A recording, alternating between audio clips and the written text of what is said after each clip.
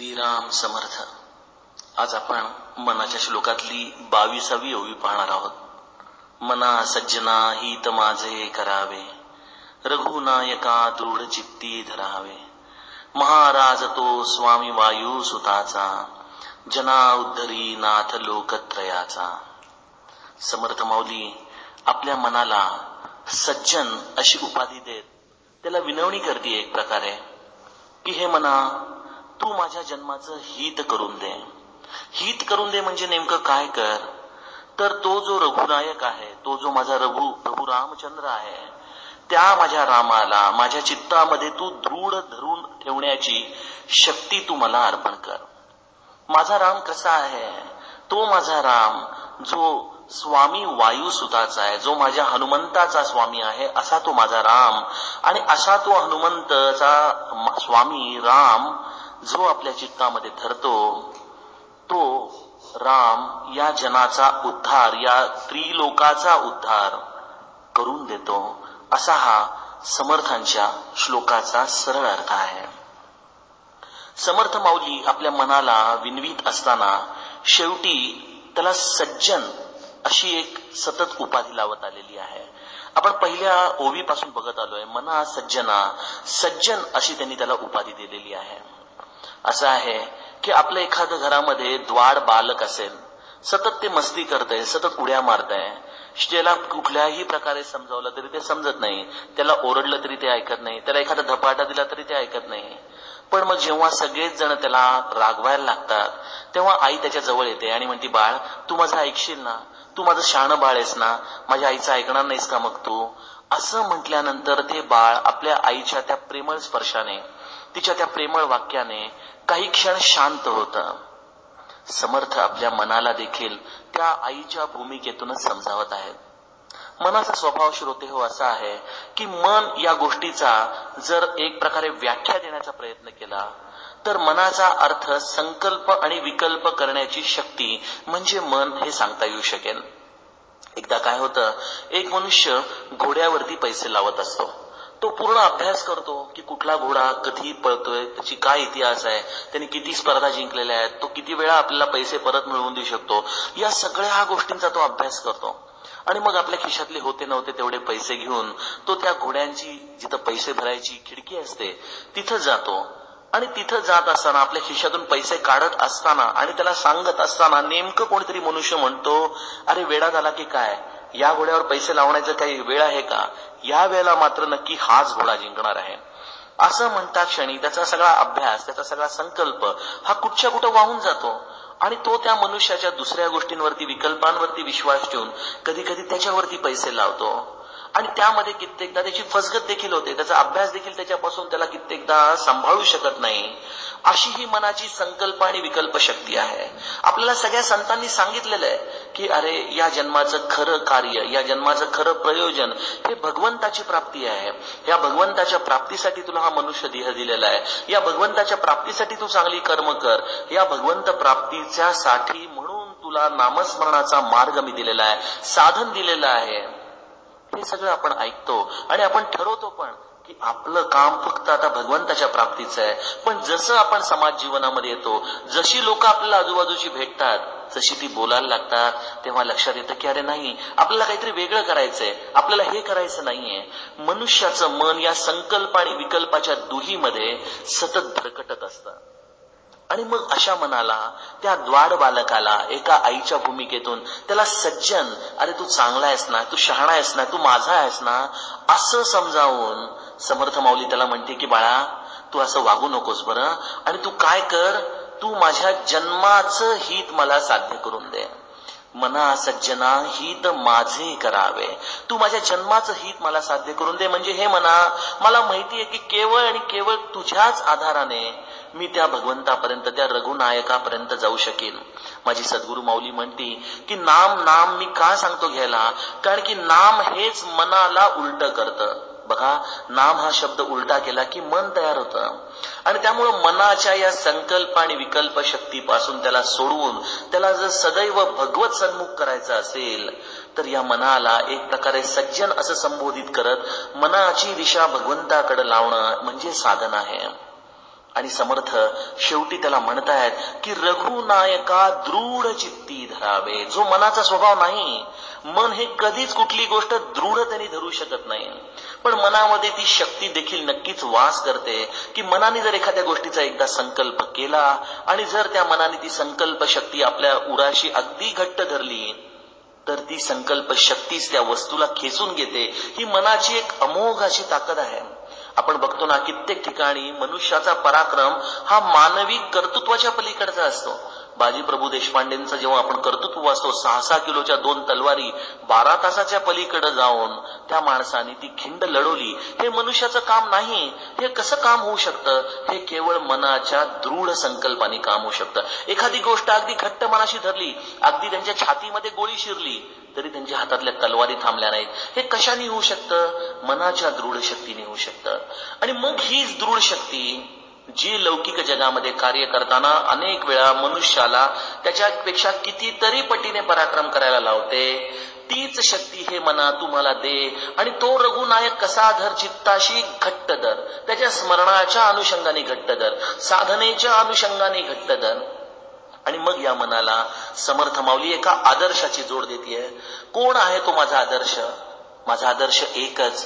तो माझा स्वामी जो आहे तो ज्या वायुसुताचा स्वामी आहे तो माझा आदर्श. तो माझा महारुद्र माझा आदर्श तो माझा मारुतीदाया माझा आदर्श तो माझा हनुमान हा माझा आदर्श. हे आपल्या मनाच्या समोर आदर्श ठेवतायत. का बरं मनाच्या समोर आदर्श हनुमंताचा ठेवलाय? समर्थांचा भीमरूपी आपण दररोज सगळेजण म्हणतो भीमरूपीमध्ये एक सुंदर ओवी आहे. मनासी टाकिले मागे गतीसी तुलना नसे. हनुमंताचं वर्णन करताना त्यांनी सांगितलेलं आहे की जे मनाची जी गती आहे मनासी टाकिले मागे गतीसी तुलना नसे. आपली अवस्था आता अशी आहे की आपलं मन आपल्या मागं आणि आपण मनाच्या बरोबरीने मन जिथं घेऊन जाईल तिथं जात असतो. आणि सगळ्या साधनेचा पराक्रम हाच की मन आपल्या पुढे ठेवून आपण आपल्या मर्जीने आपल्या शक्तीने मनाला जिकडे जायचं असेल तिकडे जरी गेलं तरी आपण आपल्या मनाच्या गोष्टींवर नियंत्रण मिळवणं हे हनुमंताचं खरं शौर्य आहे. म्हणून मनासी टाकिले मागे गतीसी तुलना नसे. आणि याच्यामध्ये मनाच्या गतीच्या पेक्षा त्याची गती जास्त आहे यात ते वादच नाही. पण यामध्ये दुसरा अर्थ असा आहे की जो आपल्या मनावरती विजय मिळवू शकतो त्याच्या गतीची त्याच्या सद्गतीची तुलना कशाशी होऊ शकत नाही. आणि म्हणून समर्थांनी महाराज तो स्वामी वायुसुत असा म्हटलंय. असा हा वायुसूत असा हा हनुमंत आपल्यासमोर आदर्श ठेवून तोच हनुमंत आपल्यासमोर सद्गुरु रूपांनी आलेला असतो. तोच हनुमंत आपल्याला त्याच्या नामाची उपासना देतो त्याची शक्ती देतो. आणि त्या नामाच्या अनुषंगाने मनावरती विजय मिळवणं म्हणजे खरा पुरुषार्थ मिळवणं आहे म्हणजे खरी साधना करणे म्हणजे खरा पराक्रम करणं आहे. असा पराक्रम आपल्या सर्वांच्या हातून व्हावा आणि तो रघुनायक आपल्या दृढ चित्तामध्ये धरावा. ही समर्थ चरणी प्रार्थना. जानकी जीवन स्मरण जय जय राम. श्रीराम आज आपण मनाच्या श्लोकातली तेविसावी ओवी पाहणार आहोत. न बोले मना राघवे वीण काही जनी वावगे बोलता सुख नाही. घडीने घडी काळ आयुष्य नेतो देहांती तुला कोण सोडू पाहतो. समर्थ मौली आपल्या मनाला या तेविसाव्या ओवीमध्ये विनवती आहे की हे मना तू आता एक कर. तू जर काही व्यक्त व्हायचंच असेल जर तुला काही बोलायचंच असेल तर तू माझ्या भगवंताच्या नामाशिवाय कशानेही व्यक्त होऊ नकोस. अरे आजपर्यंत या समाज जीवनामध्ये आपण काही कमी बोललो आहोत का? पण या जनामध्ये अनेक गोष्टी बोलूनही यामध्ये कोणाला सुख मिळालेलं आहे? आणि या बोलण्यामध्ये जाणारा काळ मात्र काही केल्या परत येत नाही. आणि अशा रीतीने एक एक क्षण जाता जाता आयुष्य कधी रिकाम होतं हे कळतच नाही. आणि जेव्हा देहांत येतो जेव्हा पडदा पडायची वेळ येते तेव्हा या सगळ्या कटकटींमधलं कोणीही आपल्याला सोडवणारं आपल्या जवळ उभं राहत नाही. अशी आपल्या देहाची ही शोकांतिका आहे. समर्थ माऊलीच्या तेविसाव्या अववीचा हा सरळ अर्थ आहे. श्रोते हो आपल्या मनाच्या अद्भुत मिश्रणांपैकी एक असं अद्भुत मिश्रण आज आपण बोलणार आहोत की ज्याच्याद्वारे मनाचं प्रगटीकरण आपल्याला कळू शकतं. असं आहे की भगवंताने आपल्या शरीरामध्ये जी पंचेंद्रिय दिलेली आहेत कुठली आहेत? डोळा आहे श्वास घ्यायला नाक आहे ऐकायला कान आहे स्पर्शाला त्वचा आहे आणि बोलायला वाणी आहे. यापैकी मानवी मनाचं एक्सप्रेशन हे बोलण्यामधून होत असतं बघा. बोलण्यामधून आणि दृष्टीमधून मनुष्य ओळखता येतो असं माझी सद्गुरू माऊली म्हणायची. म्हणजे मानवी मनाचा ठाव हा त्याच्या बोलण्यामधून आणि त्याच्या दृष्टीमधून कळता येतो. त्याही मध्ये जर कुठली गोष्ट आणखीन महत्वाची असेल तर बोलणे आणि दृष्टी यामध्ये बोलण्यामध्ये माणसाचं एक्सप्रेशन माणसाचं मन हे अधिक जवळून बघता येऊ शकतं. आपल्या या पंचेंद्रियांपैकी ज्या चार इंद्रिय जी बोलण्यापासून म्हणजे वाचेपासून वेगळी आहेत त्या चार इंद्रियांची कृती काय आहे? या चारही इंद्रियांची कृती ही बाह्य दृश्याला आतमध्ये घेऊन जाण्याची आहे. डोळे बघा बाह्य दृश्य बघतात आतमध्ये चित्तामध्ये ते घेऊन जातात. कान बघा ऐकतात आतमध्ये चित्तामध्ये घेऊन जातात. त्वचा स्पर्श सहन करते आतमध्ये चित्तात घेऊन जाते. आणि श्वासाने तर जीवन चालतं हे काही सांगायलाच नको. अशा अवस्थेमध्ये मनुष्याच्या चित्तामध्ये या इंद्रियांच्या आधारे जे जातं तेच मनुष्याच्या वाणीमधून प्रगटतं. आणि त्यामुळं बोलणं हे मनुष्याचं खूप मोठं चित्ताचं प्रगटीकरण होणारं चिन्ह आहे. आणि मग अशा बोलण्यावरती त्या भगवंताचा पहारा अखंड ठेव अशी याचना समर्थ माऊली या श्लोकामध्ये करत आहेत. आपण श्रोते हो बघतो की या समाज जीवनामध्ये आपण अनेकदा अशी वाक्य काही बोलून जातो अशा काही गोष्टी बोलून जातो की ज्या बोलण्याची खरंच काही गरज नसते. कित्येकदा बोलण्यामुळं होणारी कामं देखील बिघडून जातात हे आपण व्यवहारामध्ये बघतच असतो. मनुष्याच्या बोलण्यामुळे मोठी मोठ्या युद्धाच्या प्रसंगांना देखील त्याला सामोरं जावं लागतं. अगदी कित्येक वेळा जीवाची देखील वेळ या बोलण्यामुळे येते. आपण ते जिभेचं आणि दाताचं उदाहरण ऐकतोच ना? की सगळे दात जिभेला म्हणतात की आमच्यामध्ये तू अशी अडकलेली आहेस आम्ही जर ठरवलं तर आम्ही बत्तीस दात या जिभेला एका मिनिटामध्ये खाऊन टाकू. यावरती जीभ म्हणते तुम्ही बऱ्या बोलानी मला नीट राहा. नाहीतर मी अशी काही वाक्य बोलीन की एका मिनिटामध्ये तुम्ही बत्तीस जण बाहेर याल. माणसाची बत्तीशी ही जशी त्याच्या जिभेवरती अवलंबून आहे त्याच्या बोलण्यावरती अवलंबून आहे. श्रोते त्याचप्रमाणे बोलण्याचं आणखीन एक मर्म असं की मेडिकल सायन्स असं म्हणतं की जिभेला झालेली जखम ही लगेच भरून येते कारण की जीभ ही आपल्या लाळ्यामध्ये असते आणि लाळ ही अँटीबायोटिक आहे. ही लाळेनी अँटीबायोटिक असल्यामुळं जिभेला झालेली जखम लगेच भरून येते. पण गंमत अशी आहे की परमार्थशास्त्र असं सांगतं की जिभेनी केलेली जखम मात्र कधीच भरून येत नाही. एखाद्या माणसाला जर आपण काही वावगं बोललो तर ती वस्तू ते शब्द त्या माणसाच्या मनामध्ये आयुष्यभर घर करून राहतात. आणि हे आपल्या नित्याचा जीवनाचा भाग आहे. त्यामुळे समर्थ मौली दासबोधामध्ये म्हणतं की शब्द निवडून बोलावे. जसं आपण फळं भाजीपाला निवडून घेतो त्याप्रमाणे आपलं एक्सप्रेशन हे निवडून बोललं गेलं पाहिजे. आणि ही सावधानता वाचेला राहण्यासाठी या वाचेवर रामनामाचा पहारा अखंड ठेवावा हा त्याचा दुसरा मार्ग झाला. तिसरा भाग असा आहे की बोलणं म्हणजे केवळ संवादच आहे का? बोलणं म्हणजे केवळ व्यक्त होणंच आहे का? आपल्याला कधी असा प्रश्न पडतो का की आपण घरामध्ये सगळ्यात जास्त वेळ कोणाशी बोलत असतो? कधी हा प्रश्न आपण स्वतःला विचारलेला आहे का? कदाचित कोणाचे म्हणणं असेल की मी माझ्या नवऱ्याशी जास्त बोलते. कोणी म्हणेल माझ्या बायकोशी कोणी म्हणेल माझ्या मुलाशी कोणी म्हणेल माझ्या घरा कंपनीतल्या लोकांशी कोणी म्हणेल अजून माझ्या शेजार पाजाऱ्यांशी मित्रांशी. आपल्या प्रत्येकाकडं मी कोणाशी बोलतो याचं उत्तर असेल पण ही सगळी उत्तरं चुकीची आहेत. सगळी उत्तरं चुकीची आहेत. कारण की माणसाचं सगळ्यात जास्त बोलणं हे स्वतःशी होत असतं. आपलं मन स्वतःशी बोलत असतं. ही वाणी आपल्या कानाला ऐकू येत असते. ते शब्द आपल्या कानाला ऐकू येत असतात. फक्त ते शब्द अव्यक्त असतात. आणि हा माणसाच्या मनातला जो खोटा मी आणि खरा मी या दोघांच्या मध्ये हा संवाद अखंडपणे चाललेला असतो. आणि मग अशा या मनाच्या व्यवहारामध्ये खोटा मी हा नेहमीच प्रबळ ठरतो कारण की त्याच्यावरती अनेक प्रकारचे संस्कार या बाह्य जगाने केलेले आहेत.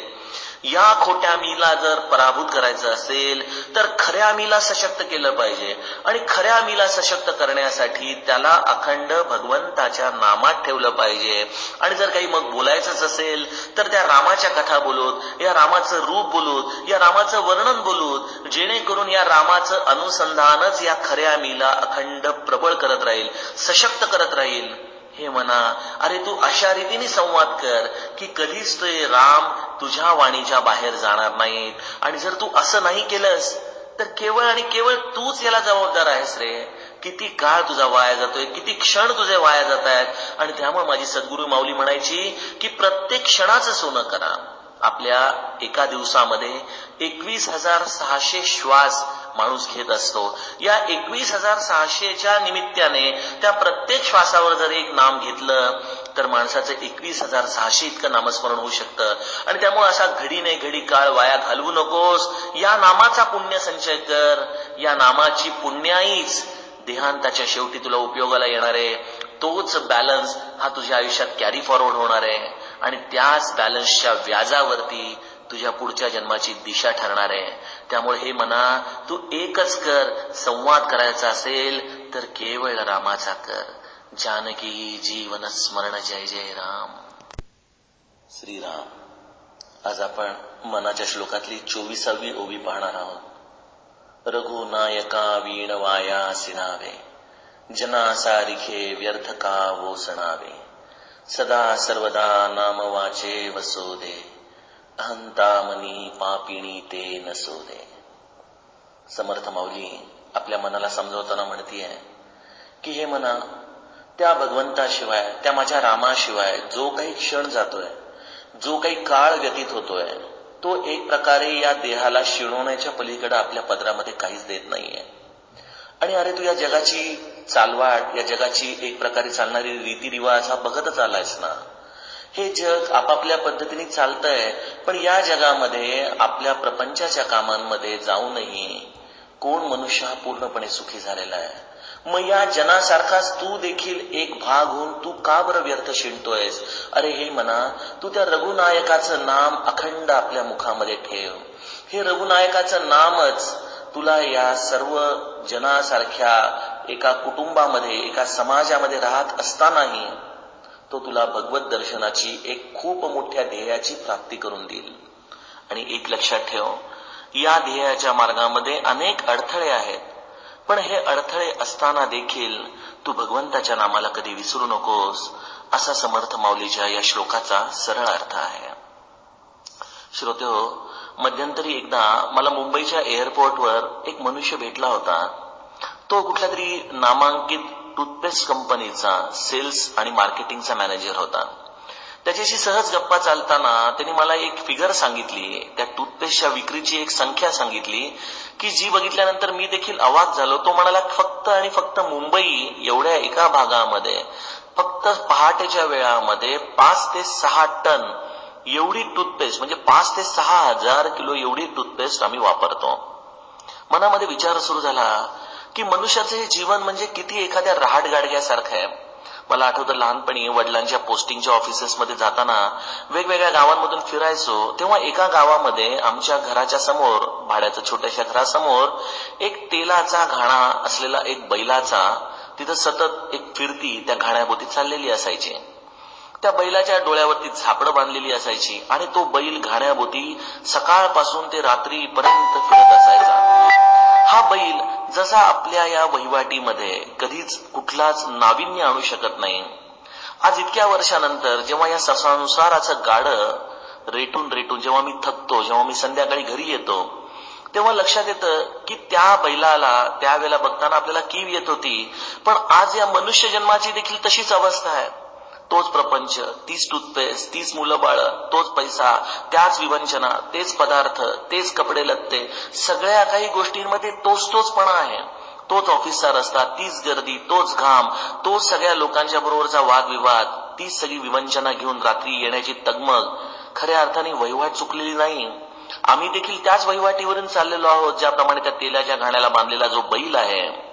आणि श्रोते आज या जगामध्ये जर सगळ्यात कुठला मोठा आजार जर सगळ्यात कुठलं मोठं वैषम्य असेल तर ते मानसिक आजारांचं आहे डिप्रेशनचं आहे. आणि हे डिप्रेशन येतं कुठून माहिती का आपल्याला? हे डिप्रेशन येतं मनुष्य आपलं नाविन्य विसरून गेलेलं आहे.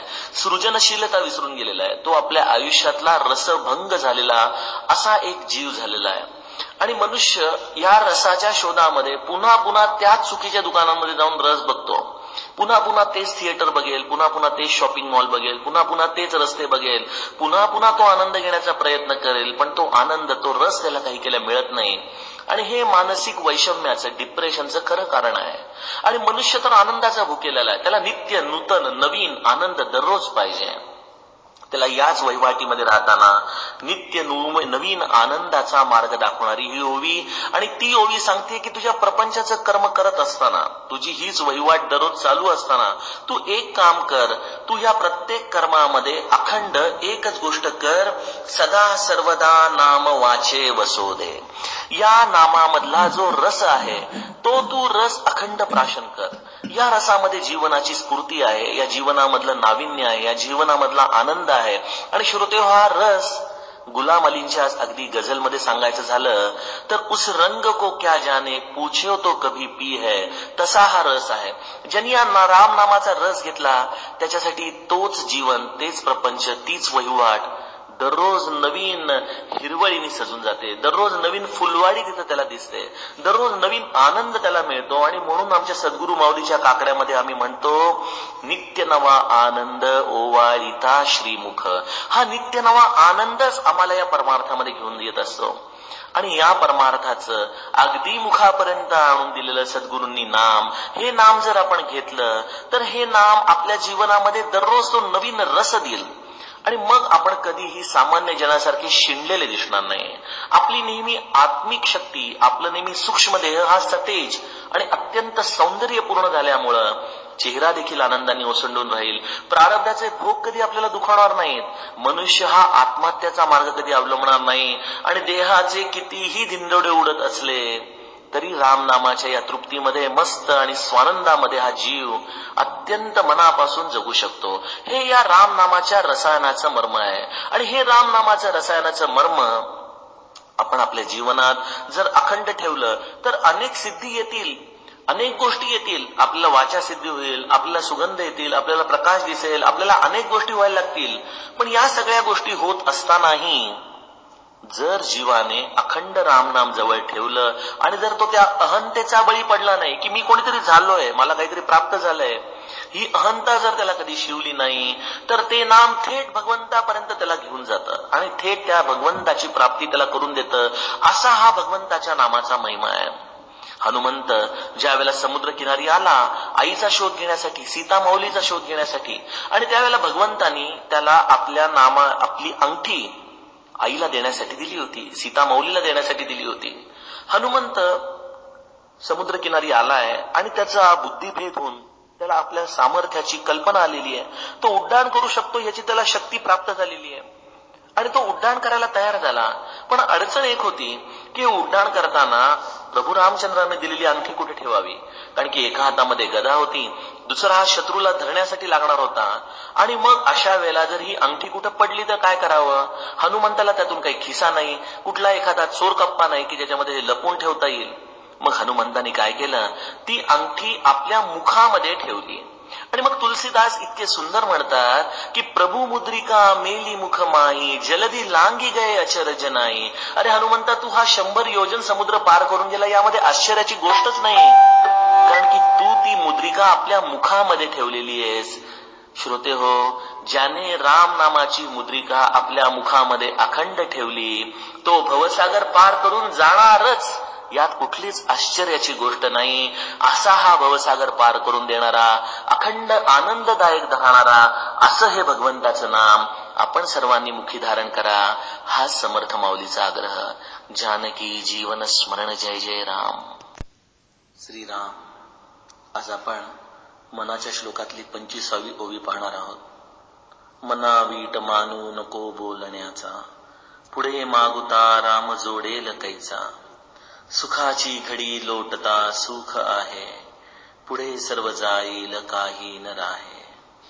समर्थ माऊली आपल्या मनाला उपदेश देताना सांगत आहे की हे मना मी तुला वारंवार जे सांगत आलेलो आहे त्यामध्ये जरी एक सुरीपणा असला जरी जरी मी तेच तेच तुला सांगत असलो तरी तू माझ्या बोलण्याचा वीट मानू नकोस रे.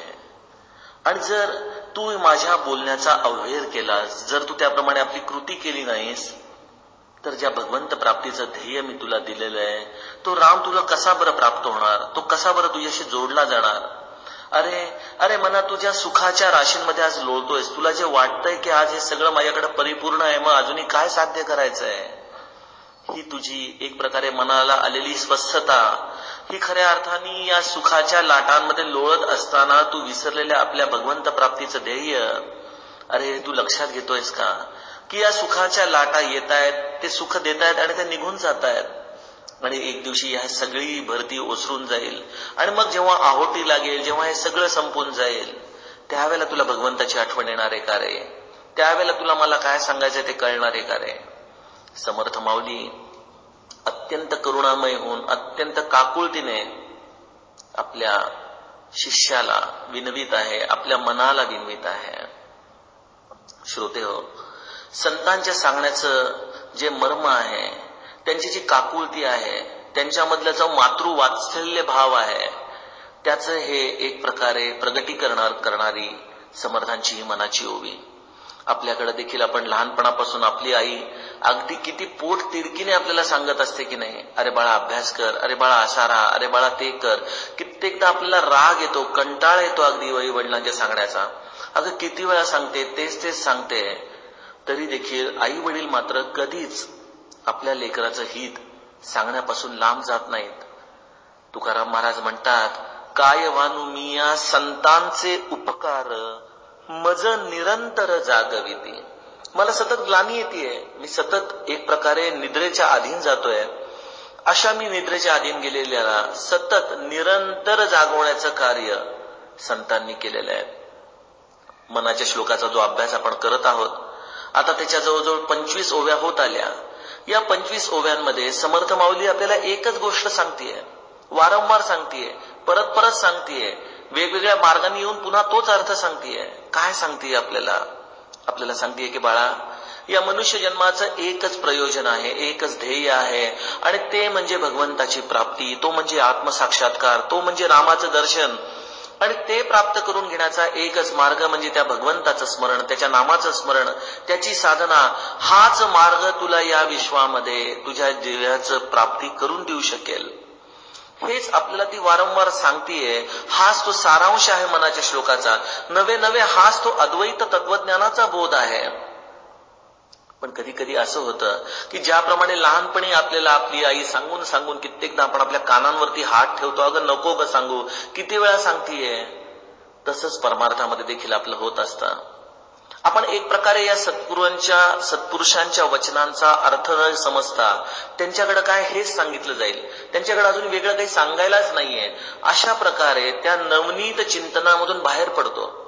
अनेकदा आपल्याला तोच तोचपणा जाणवतो. अनेकदा आपल्याला वाटतं अरे हे तेच तेच का सांगतायत? आणि त्यामध्ये सत्पुरुषाचं कार्य हे आपल्याला जागवण्याचं आहे.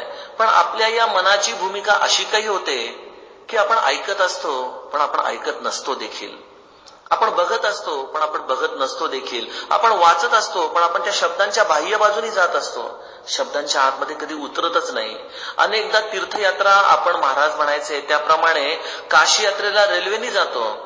मग ती रेल्वे दररोज काशी यात्राला जाते म्हणजे ती सगळ्यात जास्त पुण्यवान झाली पाहिजे. पण प्रश्न तसा नसतो. रेल्वेला कधीच काशी यात्रा घडत नाही.